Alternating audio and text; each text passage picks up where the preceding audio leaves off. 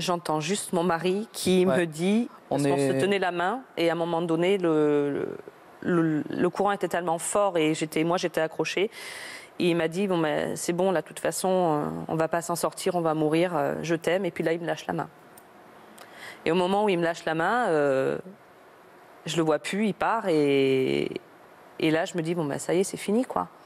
C'est fini, euh, il est mort. euh, on va pas s'en sortir. Et à ce moment-là, euh, moi, il me reste ça pour, euh, pour respirer. Je fais, bon, allez, ben, il est parti, moi aussi. Et là, je me lâche.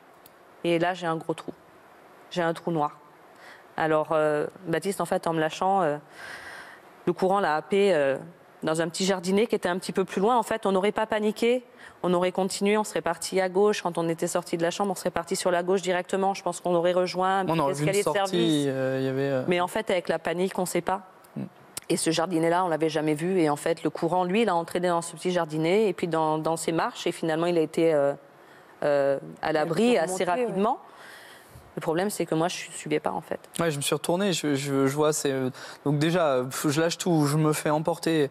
Euh, donc je passe sous une espèce d'arche du coup parce que c'était voilà ça ouvrait c'était ouvert un peu comme les euh, Ça allait vite? Vous vite J'ai- oui j'ai rien vu. J'ai lâché Christelle euh, j'ai pas Et pu vous avez vraiment, pa- pardon de vous interrompre, Baptiste, mais au moment où vous lui dites ce que vous nous avez dit, enfin, ah, moi c'est c'était fini. pour vous, vous lui disiez vraiment adieu, en fait. ah oui, oui. Vous pensiez Ah sincèrement mais que vous oui, oui, je pensais pas, euh, je pensais pas qu'on s'en sortirait. C'était un vrai miracle parce que non, je voyais pas. Là, Donc- là, là, pour le coup, je voyais voyez pas, comment euh. on allait s'en sortir. L'eau monte. l'eau euh, montée, euh, l'eau continue. euh, on est dans un couloir, l'eau monte. euh, c'est l'aquarium, le poisson. Enfin, c'est, on s'en sort pas quoi. Et, et vous avez vu votre vie défiler quand vous, c'est-à-dire quand vous Ouais. lâchez, finalement, vous lâchez, vous lâchez, j'allais dire, vous vous, vous vous abandonnez à ce qui Ah peut ouais. vous arriver, y Mm. compris la mort, en fait. C'est ça.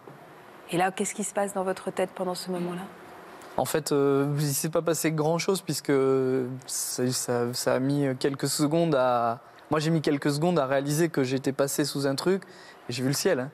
Donc euh, là, en voyant le ciel, j'ai bien compris que c'était pas euh, Saint-Pierre. hein. Ouais. J'ai compris que c'était. j'ai vu le ciel, j'ai vu les mares, j'ai vu des arbres.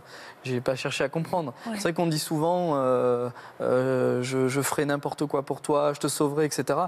Oui, bien sûr, on a ça en tête, mais sauf que, en fait, ce qui est le plus important dans un moment de panique, c'est de se mettre à l'abri soi pour pouvoir même penser à aider quelqu'un.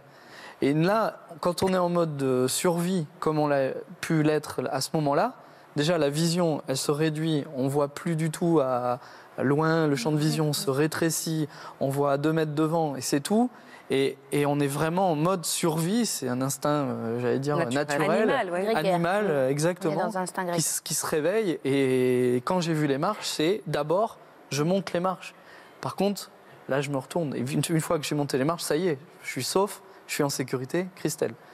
Donc, Et là, vous n'avez aucune idée de là où elle est. parce que ben, je sais qu'elle est dans le couloir et je sais pas euh, ce qui arrive. Donc moi, je me retourne, il n'y a personne. Vous avez atterri quoi? Donc dans cette petite escalier de service? Voilà, c'est ça. Je, je monte les marches, je suis en hauteur, je me retourne immédiatement euh, et j'appelle Christelle. C'était loin par rapport à la Non, chambre non, non, non. petit- Enfin, finalement, non, mais on Mais vous êtes parti à droite alors qu'il aurait fallu partir est- à gauche. on n'est jamais allé de ce Et là, côté-là. vous l'appelez votre femme? Oui, oui, je, je hurle. Christelle, Christelle, Christelle, euh, etc. Et euh, bah, soudainement, je, je suppose qu'elle elle- elle vous a raconté qu'elle a lâché. Moi, finalement, tout ça, je ne l'ai pas vu, mais elle s'est fait emporter exactement au même endroit que moi. Et elle a atterri au même endroit, forcément. Le courant euh, allant, allant- allant dans ce sens-là, elle, elle a fait le même chemin que moi. Et elle a atterri aussi dans les marches quelques, quelques secondes après? Elle a- en fait, moi, j'ai vu euh, sa tête sortir de l'eau euh, à ce moment-là. Donc là, moi, j'ai crié très, très fort pour lui donner la direction. Mais je voyais qu'elle était euh, Sonnée, sonnée, ouais. Et ça ça l'a. désorientée. ouais. ça- non, non, enfin, le fait que je l'appelle, l'a, comment dire, lui a fait reprendre ses esprits. Et Oui, elle, parce a, que moi, je et elle m'a euh, vu, et ensuite elle s'est redirigée vers les escaliers, et là, on était en, en sécurité. Ça a dû être les, les quelques secondes les Ah, plus longues les de votre pires, vie. hein. ah oui, les pires de ma vie. Ouais, bah, On s'est vu mourir, on voit la mort en face, et là, on se dit, bon, bah, Je revis dès enfin, qu'on en parle, j'en parle facilement maintenant, etc. Mais je- là, je revis l'instant euh, comme, si j'y étais.